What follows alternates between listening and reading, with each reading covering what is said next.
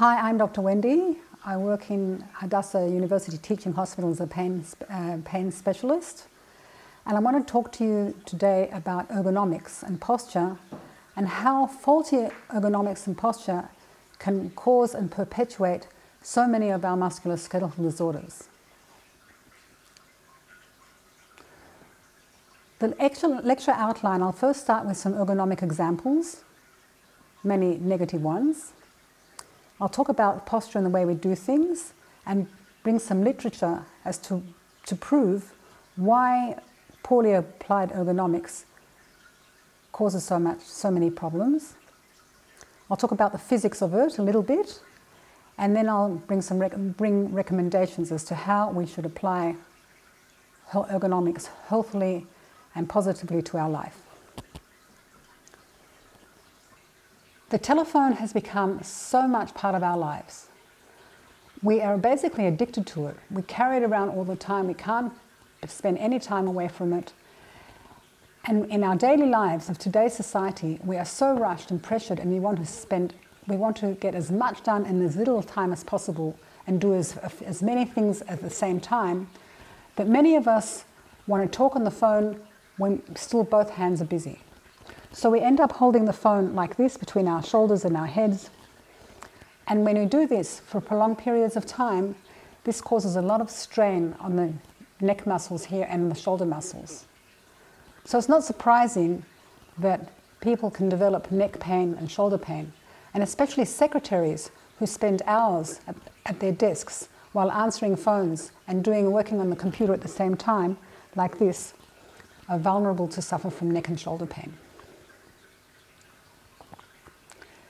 Dentists, at least until five, ten years ago, are notorious for suffering from neck pain due to the adoption of faulty non-neutral postures for lengthy periods of time.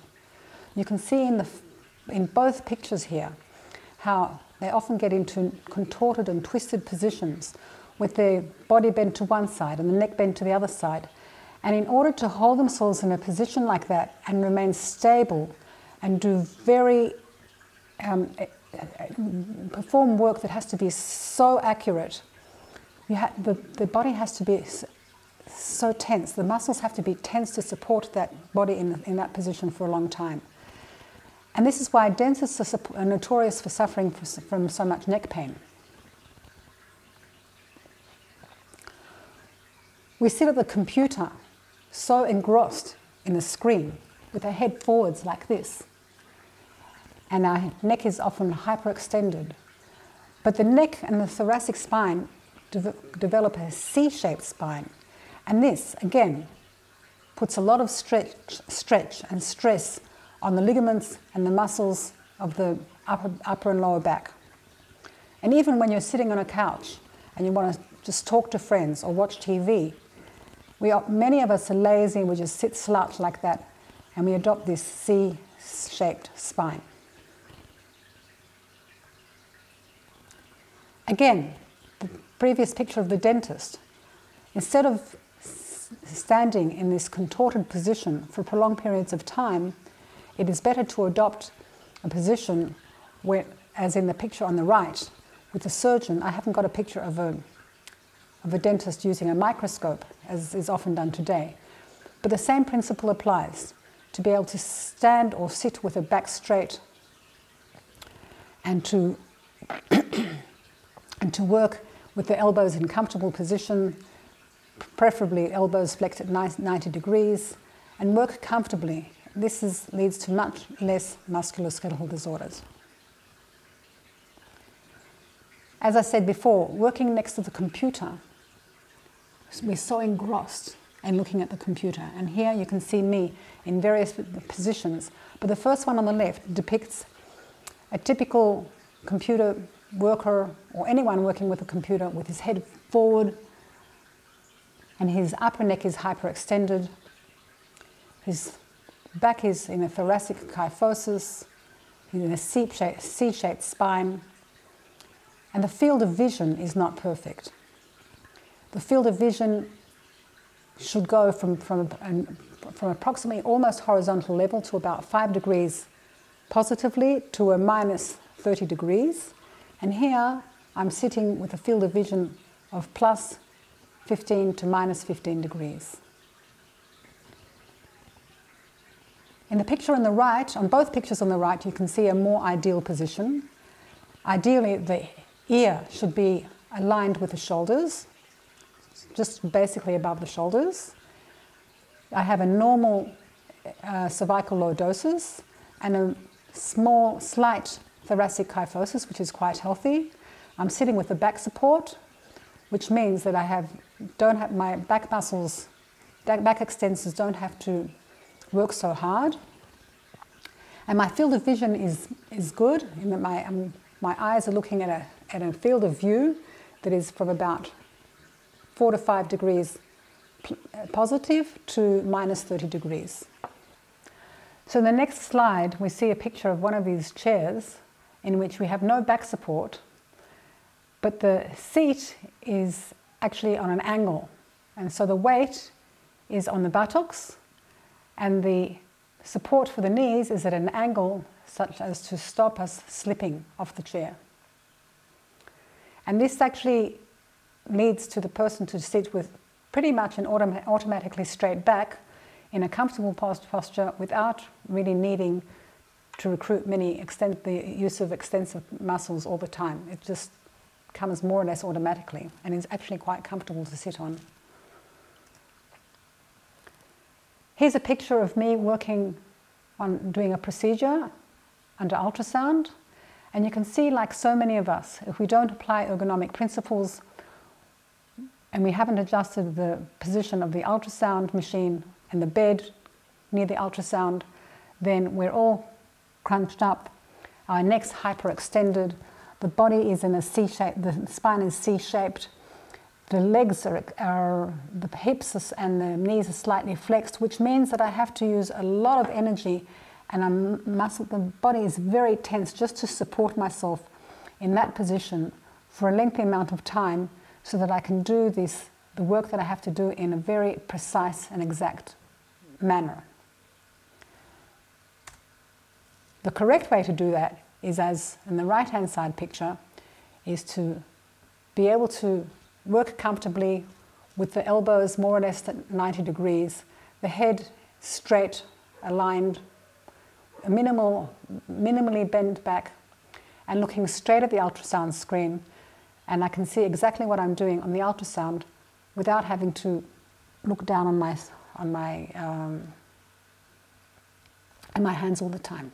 This is actually very comfortable, and you can do this for prolonged periods of time. So, what's ergonomics? So, ergonomics is defined as the science that uses the law of physics to explain motion of the body segments and the forces that act on them during normal daily activities.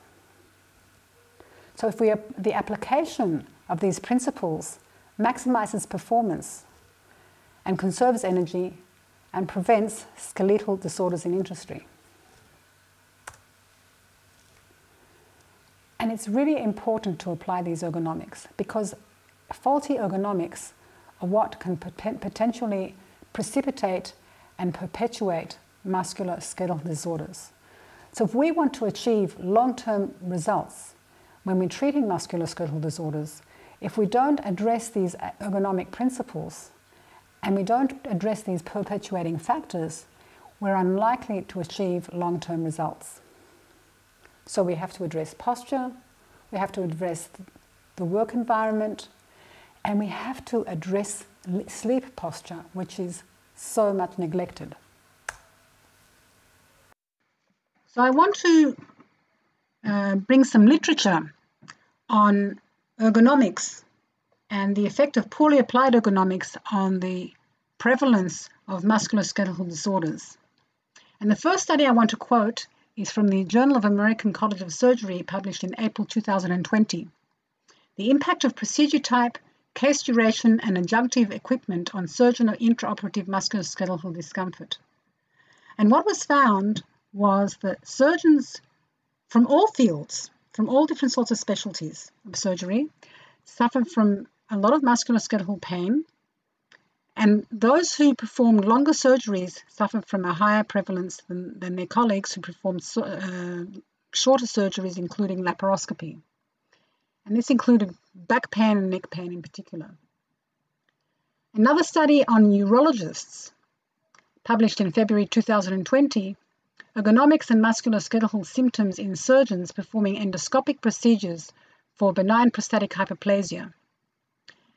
And what they found was that, again, urologists very rarely applied ergonomic principles to their work. And uh, they suffered particularly from a lot of neck pain and back pain. 69% of the urologists in this study suffered from uh, musculoskeletal pain, of which 64% suffered from neck pain, 57% suffered from back pain, 48% suffered from shoulder pain, and lower prevalences suffered from elbow and hand pain. In a study published in the Workplace Health uh, in 2019, prevalence of musculoskeletal pain in dental workers in Slovenia showed that 80% of the 82% of the dentists in this study suffered from musculoskeletal pain, including neck, back, and shoulder pain. However, not only uh, the dentists, also the dental technicians and the dental assistants suffered from pain. And this is also because they're notoriously known for working in very, all sorts of contorted positions as I depicted earlier in the lecture.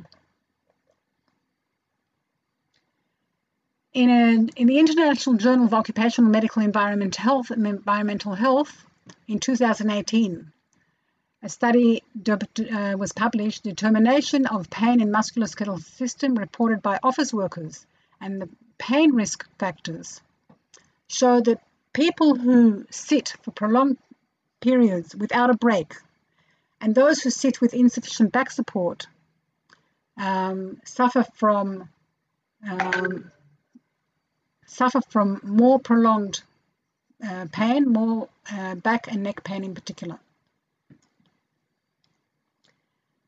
In the Journal of Surgical Oncology, 2018, a study called Ergonomics in Microsurgery showed that people who do a lot of microsurgery suffer tremendously from neck pain in particular more than their colleagues. And this is because Microsurgeons in particular have to stand for prolonged periods of time in a static posture without moving anything in order to be very precise in their work. And th this puts an extra amount of stress on the musculoskeletal system. In Physical Therapy 2018, um, a crossover randomized controlled trial called Global Postural Reeducation with, in patients with chronic nonspecific pain, a crossover analysis of randomized controlled trial, showed that they studied uh, patients with neck pain and they divided them into two groups, one with that got uh, a treatment of global postural reeducation and the other with manual therapy. And then they did a crossover and what they found was that though the pain scores were not statistically different, the patients that got treatment with the postural reeducation had a significantly lower disability and significantly increased range of neck motion than the other ones in the uh, manual therapy group and there was much there was a much reduced kinesiophobia than the ones in the manual group. And last but not least, I want to quote a study published in Laryngoscope in 2019, Ergonomic Hazards in Otolaryngology. And the otolaryngologists are notorious also for suffering from neck pain because of working for prolonged periods, looking, uh, studying, work, examining uh, the uh, ENT system and operating on it. And I just want to quote a section from the summary of this article. Our data suggests that pain and disability induced by poor ergonomics are widespread among otolaryngology community and confirm that surgeons rarely receive ergonomic training in the surgical context. Additionally, intraoperative observational findings identified that the majority of observed surgeons display poor posture, particularly a poor cervical angle and use of ergonomic setups, both of which increase ergonomic risk hazard. So I think that all these studies that I quoted, I think that all these studies that I quoted lend enough support to show that poorly applied ergonomics does cause a hazard and does uh, increase morbidity and uh, of um, mus- in musculoskeletal disorders. And I think that it is in, incumbent upon us to implement and apply these ergonomic principles in order to reduce the prevalence and the rising prevalence of these musculoskeletal disorders as, and the associated rising costs.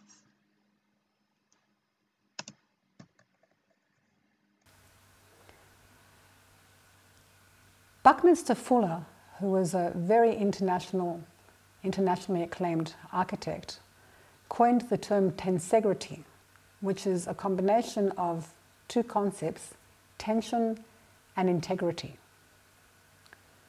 And this basically he applied to every inanimate and inanimate and inanimate object.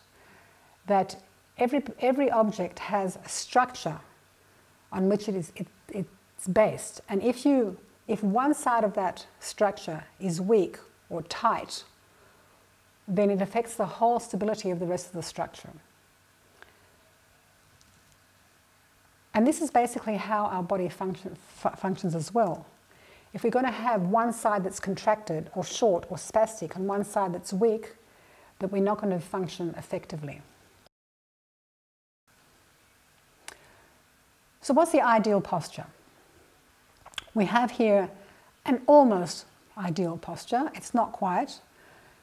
The, ideally, the ears should go above the uh, shoulders, and the center of gravity should go from the ear to the shoulders, through the elbows, down through the greater trochanters, just to the front of the knees and in front of the ankles.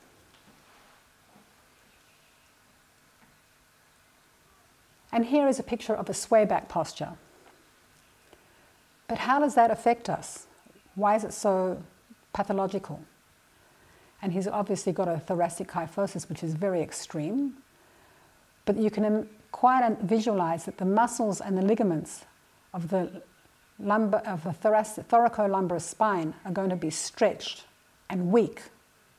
And so we want to be uh, strengthening, as, as part of the treatment, we will recommend strengthening these muscles, the extensor muscles of the, of the back.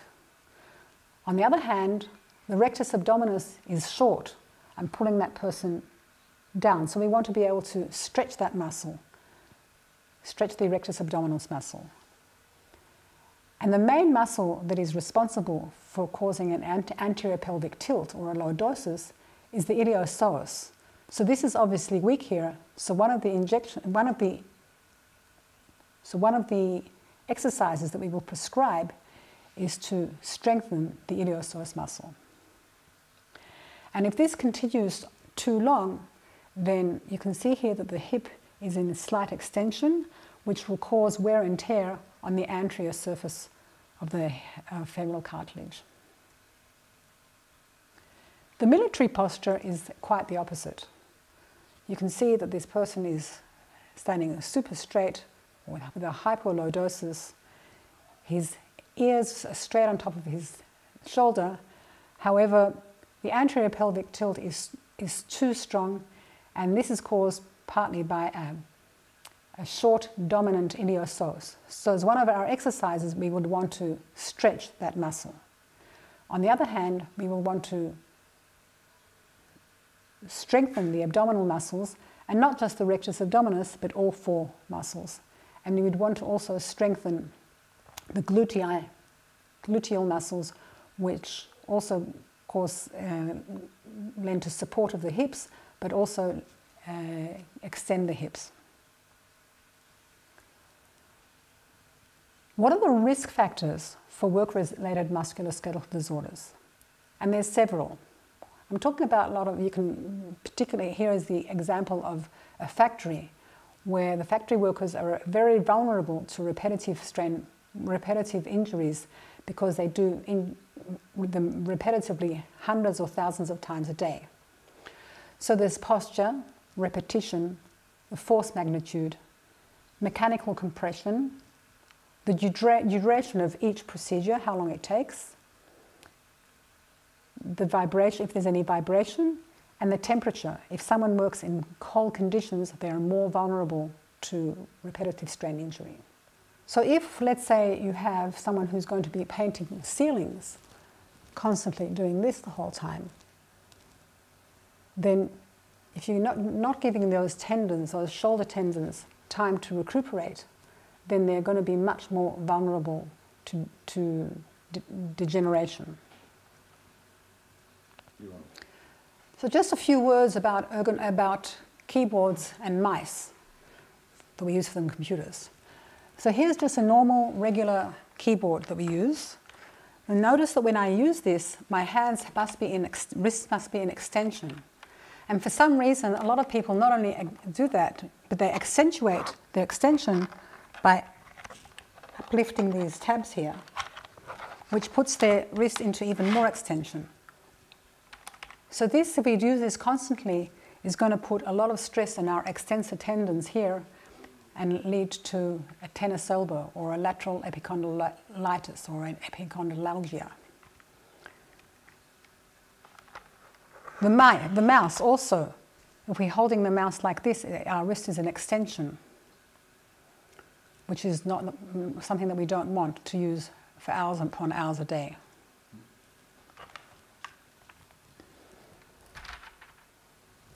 Nachemson did a study in 1966, it's an old study, but on which several ergonomic principles are based. And he measured the pressure within the L3 disc in, in various positions. And he found that if the absolute 100 millimeter mercury is in the standing position, the pressure within the disc increases much more when, it's, when one bends forward, it increases by 40% and it increases more when you bend down to pick up something, and it increases 400% if when one is going to bend down on the side to pick up something, on the oblique. So this is something that we should take into consideration. When we're bending down on the side to pick something, try and avoid it. Preferably to turn towards the object, bend down our knees and pick it up. Not only because of the disc, but because of the muscles that are recruited, become vulnerable to sprain. Not only that, the nutrition of the disc is dependent on a pumping action. There's no blood supply to the disc. There's no oxygen coming into the disc or glucose or any nutrients unless we sort of move around and pump fluid within there. And in addition, the pumping action increases that, changes the hydrostatic pressures within the, within the disc and increase the proteoglycan production, which the younger people have. So if we're going to move around and pump our discs up with more nutrition and more fluid, then we can try theoretically and keep our discs young. This is a study done on measuring the pressure within the erector spinae muscles. And they found that if you're holding a weight close to you there's a certain that's more than not holding a weight at all. But if you're holding, going to hold that weight further away from you, then that increases the pressure in the erector spinae muscles.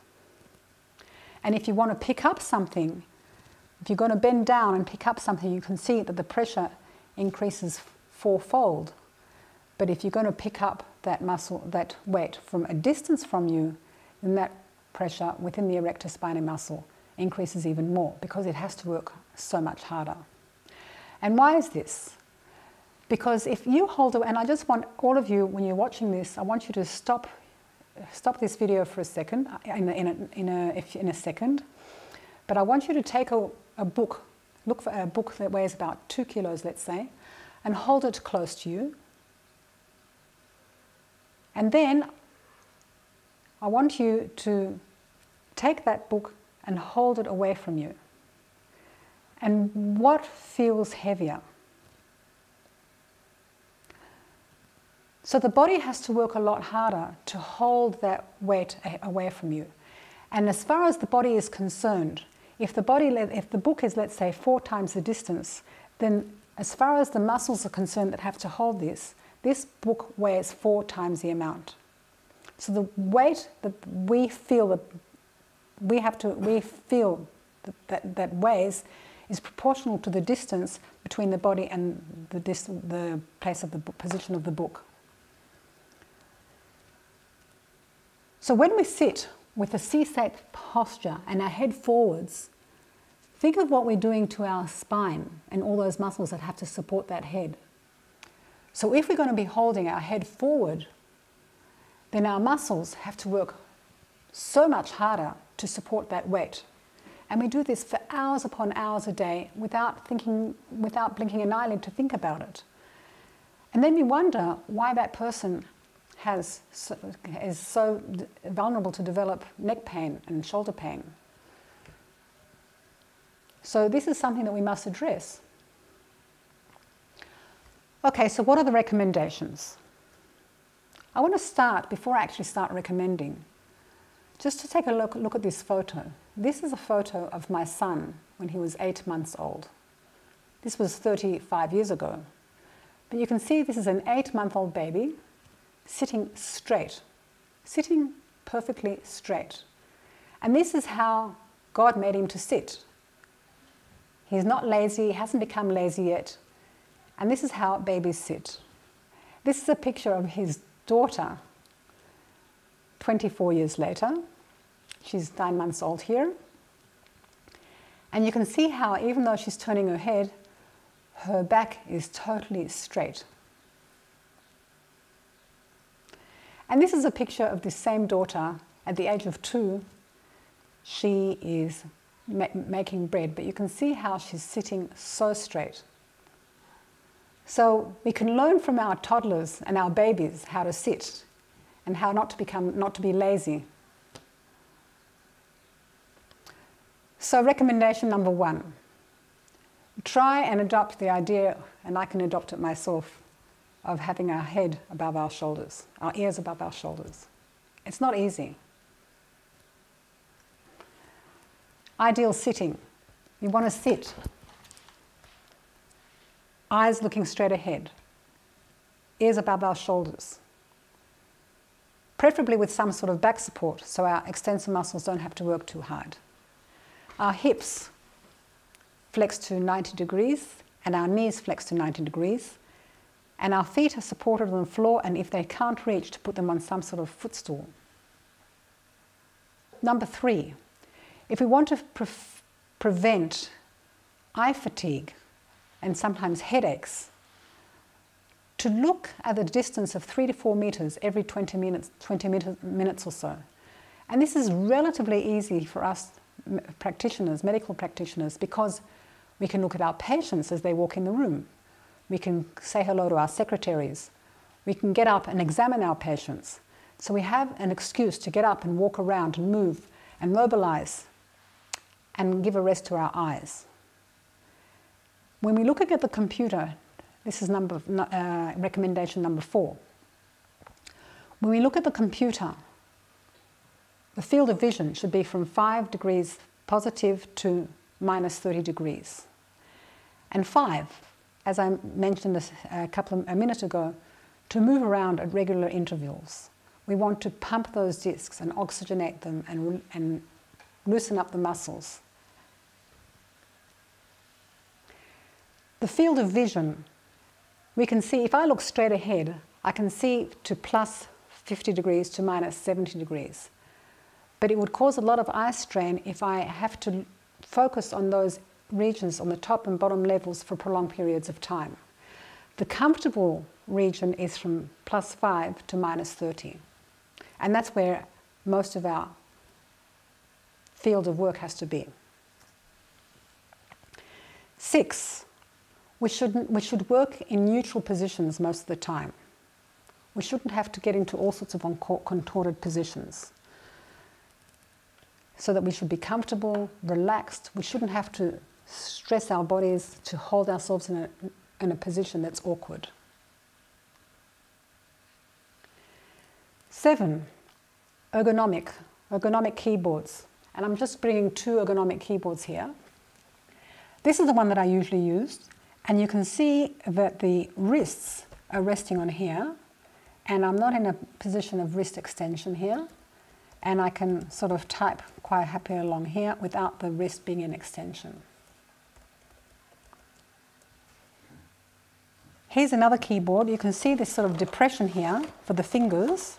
So I'm resting my palms here, my wrist pads here, and I'm just sort of typing away like this. So that, again, my wrists are not in extension. And this is also actually very com com comfortable to work with. It takes a bit of practice to get used to typing because everything's a bit of, at a different angle. But it actually is also very comfortable once you get, once you get used to it. And here's the mouse that I work with. You can see, as I've got in the picture on the right-hand side, that again, my wrist is not an extension. It's not, I'm not holding the mouse like this, like I would a normal mouse, but my hand is like this. And I can roll the, use this roller quite comfortably. And the hand is in a perfect, perfectly neutral position. So this is an ergonomic mouse that I work with. This is another ergonomic mouse that I have that I sometimes use. You can see that the wrist is not an extension. It's basically in a neutral position. And I'm using my, my thumb to press as, the, as, as a right and a left click. And I can move that around. So that's about ergonomic mice and keyboards. If you don't have an ergonomic uh, mouse, then there are various wrist pads that can elevate the wrist pad here so that the fingers sort of go down a little bit. And there are various um, adaptations to this. Or there's a wrist pad that you can have that's slightly on an angle that will put your wrist also at an angle, which is also quite okay. As I said in the lecture, the closer the closer you are to the object you want to lift, then the less you strain your muscles to lift it up. So I'm approximating myself to, to this object that I want to lift, and it doesn't necessarily even have to be a heavy object to cause strain, so you should do it properly. I'm going to bend down with my knees and hips, my back is straight, and I'm going to straighten my knees, and automatically my, my hips are straightened, and then my back is straightening up towards the end.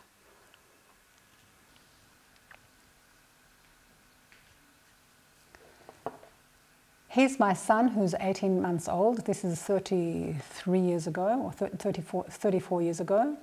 But it's interesting to note how an 18 month old toddler knows to bend down with his knees. He knows that if he's going to bend down with his knees straight, his whole center of gravity is going to take him forward and is just going to topple over. So he bends down on his knees, and that's how we should also. And last but not least, and I think it may be even the most important, is sleep hygiene. We spend a third of our day sleeping. Some of us wish we could spend a third of our day sleeping. But anyway, if we go to sleep in a non neutral position for extended hours, then we're going to suffer, then no wonder we suffer from musculoskeletal pain. And if someone comes to your clinic and, and says, you know, my pain is worse in, during the night or in late hours, early hours of the morning and during the morning, and gets better during the day, then ask yourselves, what did you do at night? What, what position did you lie on at night? What was his mat, what's his mattress like? What's his pillow like? These questions should come to mind immediately as soon as the person says that his pain is worse in the early hours of the morning or when he wakes up. So if you're going to sleep in your tummy, then you're obviously stretching one side of the muscles and you're compressing the other side. You're stretching the sternomastoid and the, and the upper trapezius on the ipsilateral side, which will also cause a lot of strain and trigger points eventually. And this is likely to develop to, to myofascial pain to neck pain to musculoskeletal pain, however you want to, to classify it. If you're going to sleep on a side, if you're going to sleep in a fetal position and bring your feet right, right up, and you're going to stretch those back muscles and stretch those ligaments continuously for hours on end. So we want to avoid that also. So we recommend not to sleep on the tummy. If you're going to sleep on the side, to make sure that the body is absolutely level with the head, 180 degrees, so that the pillow fills this gap. And that gap is obviously usually larger in males, so the males will usually require a, a larger pillow, a thicker pillow. And we don't need to fight, buy these fancy orthopedic pillows, as long as this pillow fills this gap. So you may need one and a half pillows or some sort of something to fit this space. So in summary, I want to stress the main points that, that a good posture decreases ligamentous and muscular strain, preventing overstretching. It decreases intradiscal pressure. It reduces stress on the thoracic, cervical, and shoulder, cervical spine and shoulder girdle. It enables more efficient muscle work and improved mechanical advantage with less muscle fatigue. It provides greater range of motion of the upper body it provide, sits in diaphragmatic breathing, which I actually didn't discuss. And it reduces the myoelectric activity in the back, as I mentioned before about the EMG studies, stress, which measured the pressures in different positions. So a good sitting posture and a good standing posture will automatically give rise to a good neck posture. And if we encourage, want to encourage good back posture, we want to encourage the support, some sort of back support, so that the back muscles on the neck don't have to work so hard to sit straight. So basically, have a nice stretch, relax, work, work effectively, and in a relaxed manner without being tensed up. And thank you for listening. I hope I added something to your knowledge. All the best.